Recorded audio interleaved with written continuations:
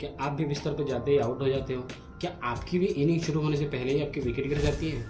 तो ध्यान से देखो, ये वीडियो आप ही के लिए है। जैसे कि आप थंबनेल देख करके समझ ही गए होंगे, ये वीडियो किस टॉपिक पे है। तो चलिए सबसे पहले इस रोग से मैं आपको परिचय करवा देता हूँ।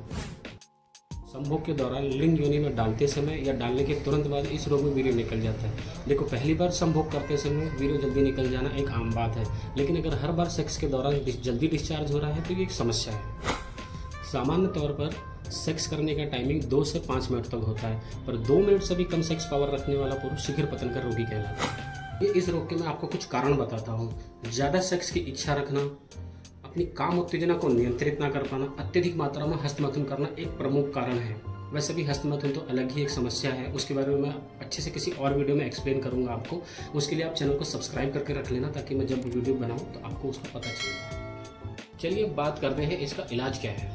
अकरकरा सौठ, कपूर, केसर, पीपली, लौंग, इन सबको एक तोला की मात्रा में लेकर कर कूट पीस करके, छान करके, चने के आकार की गोलियाँ बना लें। ऐसे रोगी जो बहुत इलाज करा करके निराश हो चुके हैं। दूध के साथ सुबह शाम लेने से बहुत लाभ मिले उनकी गुठलियों का चूर्ण चार मासा की मात्रा में, प्रतिदिन शाम को गुनगुने दूध के साथ में लेने से शीघ्र रोग नष्ट होता है, साथ ही वीर भी गाढ़ा होता है। जंगली बेर की गुठलियों की गिरी ध्यान रहे, गिरी, उसको पीस करके उसमें उसकी आधी मात्रा में खांड मिला करके सुबह शाम गाय के दूध के साथ में लेने से भी शीघ्र रोग नष्ट होता है। कौच के बीज और ताल मखाना समान मात्रा में लेकर के इसको कूट पीस करके इसका चूर्ण बना लें।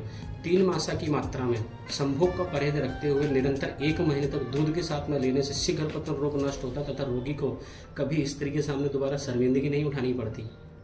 वैसे तो इस समस्या के समाधानों की लिस्ट बहुत ही ज़्यादा लंबी है। जैसे एक ही वीडियो में कवर करने जाऊँगा तो वीडियो बहुत ज़्यादा लंबी हो जाएगी। आप बाकी किसी और वीडियो में हम कवर करेंगे। अगर वीडियो आपको पसंद आई हो, आपके काम की हो तो चैनल को सब्सक्राइब कर लेना, क्योंकि आगे बहुत सारी वीडियो आने वाली है। सेक्सुअल टॉपिक पर तो मैं एक पूरी प्लेलिस्ट ही बनाऊँगा। चैनल को सब्सक्राइब कर लेना।